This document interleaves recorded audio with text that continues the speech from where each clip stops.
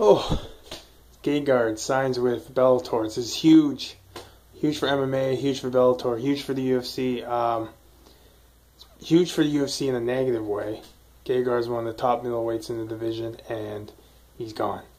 You know, with Jacare on a losing streak, with Yoel on a losing streak, with Luke Rockhold nowhere to be found, Weidman on a losing streak, him and Gastelum, the only two guys really kicking butt in the, as far as big names kicking butt in the middleweight division. So for him to leave is a huge deal. I don't the UFC's going to do. They'll probably be fine. They got lots of talent. Uh, they, I guess they didn't offer Gegard what he wanted.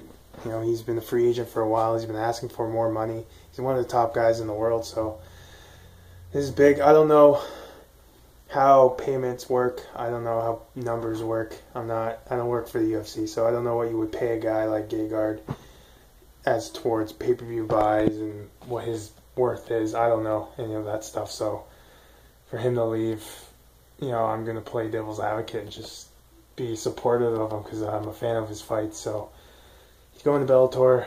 Bellator's snagging up all these UFC guys. I don't know what they're doing over there. They got some money. They're doing something.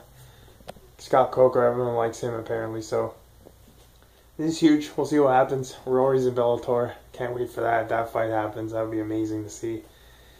But yeah, I don't know. Good for Gegard. Hopefully he's getting some good shekels over there in Bellator.